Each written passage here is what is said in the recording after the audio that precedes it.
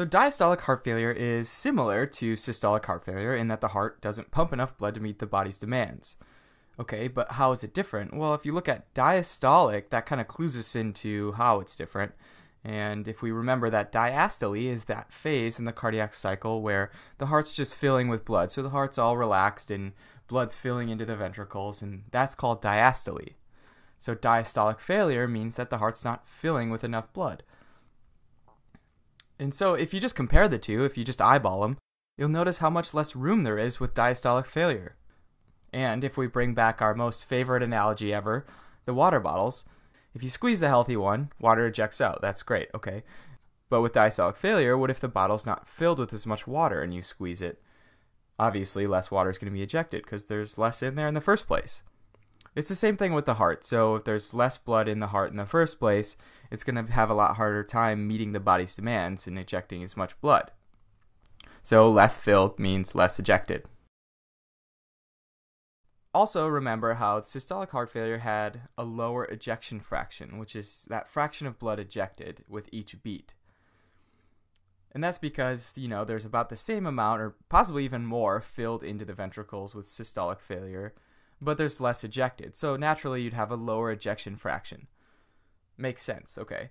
But since diastolic heart failure has both filled and ejected lower, so both are lower, sometimes your ejection fraction can be the same as with a healthy heart, and we would call that a preserved ejection fraction. Okay, that seems a little confusing, right? Well, let's do an example and show how that might happen. Okay. So recall that ejection fraction is equal to your volume ejected, which you could also call your stroke volume, divided by the total blood filled, which we can also call end diastolic volume because it's the volume at the end of diastole. Okay, so say your stroke volume is 70 milliliters. Say your end diastolic volume is 120 milliliters. This would be considered, you know, quote unquote healthy. Um, 70 divided by 120 equals 58%. Okay, that's within a normal range. Cool. What if stroke volume is equal to 46 milliliters because of heart failure. It's a lot lower. It's pumping less blood. But your end diastolic volume is also lower. It's 80 milliliters. 46 divided by 80 is still 58%, technically in a normal range. So clearly, the stroke volume and the blood being pumped out is lower, but that's kind of covered up by your end diastolic volume being lower too. But just because that ejection fraction is preserved, that doesn't mean, you know, we're out of the woods. It's still heart failure. But how does this diastolic heart failure get to look so much different than systolic failure? Well, there's pretty much two ways. Uh, the first way is hypertrophy, which essentially means like growth of muscle. And, and when we're going to talk about that, we mean ventricular muscle growth. Um, and when these grow, they take up more space. And since there's more space being taken up by the muscles, that means there's less space to fill, right?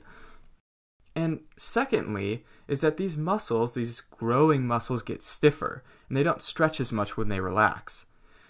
Even though they're growing, there are these dead muscle cells in here too because it's heart failure and that's a main component is death of muscle cells. So these dead muscle cells leave this fibrotic scar tissue. And this fibrotic tissue is like a bunch of connective tissue and that connective tissue has a lot lower compliance. And Basically, compliance is the ability for the ventricle or for any tissue to passively stretch and expand during filling. And this is super important for the heart because more stretch, more compliance means that it can fill more, it can get more blood. Think of like filling a water balloon. When you put water into it, what happens? Well, it gets bigger, it expands, but this is like passive. The water's forcing it to get bigger. Now think about filling up one of those like glass flasks from chemistry class. I mean, I'm going to be really extreme here just to make a point, but what's going to happen when you fill it up? It's just it's not going to get bigger, it's not going to change shape. It's just going to fill up all the way and then start to overflow and spill all over. That's because it's a lot less compliant. It's probably like one of the least compliant things we can think of. And it's the same with a heart with a bunch of fibrous connective tissue. It can't relax and it can't passively expand and it can't fill completely. So that's what's going on with diastolic heart failure. But how does it get like that? And how do we get these enlarged and stiffened muscles?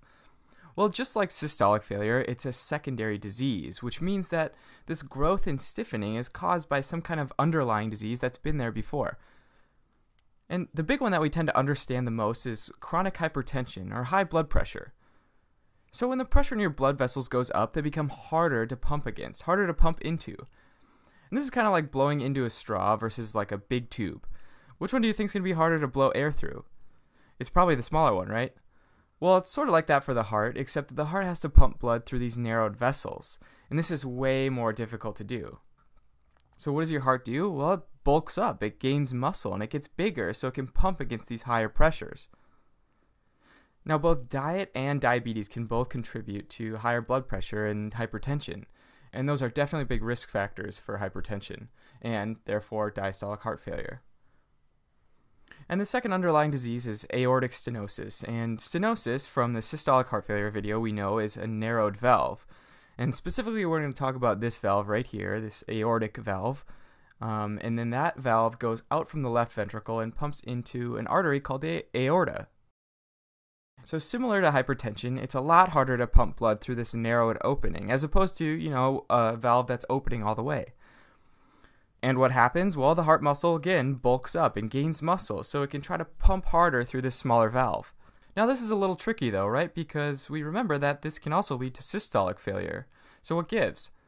Well, unfortunately, a lot of the mechanisms behind why, in one case, it might lead to this growth of muscles, like in diastolic heart failure, or it might lead to this serious weakening of the muscles, like in systolic heart failure, are pretty complex, and honestly, a lot of these mechanisms are unknown and still big areas of research. And next up, you have cardiomyopathies, which mean heart muscle diseases, and sometimes these can be a little general, but for diastolic heart failure in particular, there's two that we're going to focus on. And the first one is hypertrophic cardiomyopathy, which we can kind of figure out by the name. Hypertrophic or hypertrophy means muscle growth. And so this cardiomyopathy causes muscle growth, and this is often without an obvious cause. And the second is restrictive cardiomyopathy, which causes stiffer and more rigid muscles, and this restricts the ventricles from expanding. And these two cardiomyopathies kind of hit the nail on the head, right?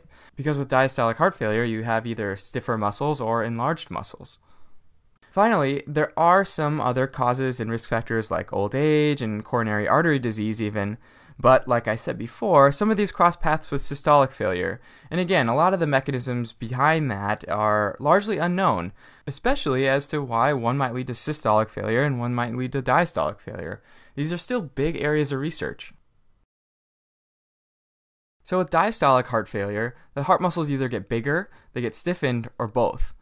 When this happens, less blood fills into the ventricles and the heart can't passively expand as much and therefore can't relax completely. So ultimately, you end up with this cycle that leads to worsening heart failure. So you start with some underlying disease like hypertension or stenosis that makes it a lot harder to pump blood to the body. To try and make it easier, the heart muscles increase in size and they get bigger, they bulk up. But these bigger muscles do more work, so they need more oxygen. But with heart failure, you know, you can't supply more oxygen, so this leads to cell death, and that cell death causes this fibrosis and this stiffening of the heart muscle tissue. And then that feeds back into a lower blood supply, making it even harder to pump blood. You could also have other diseases like hypertrophic cardiomyopathy that directly affects muscle size, or restrictive cardiomyopathy that directly affects stiffening. And this cycle progresses, and heart failure gets worse.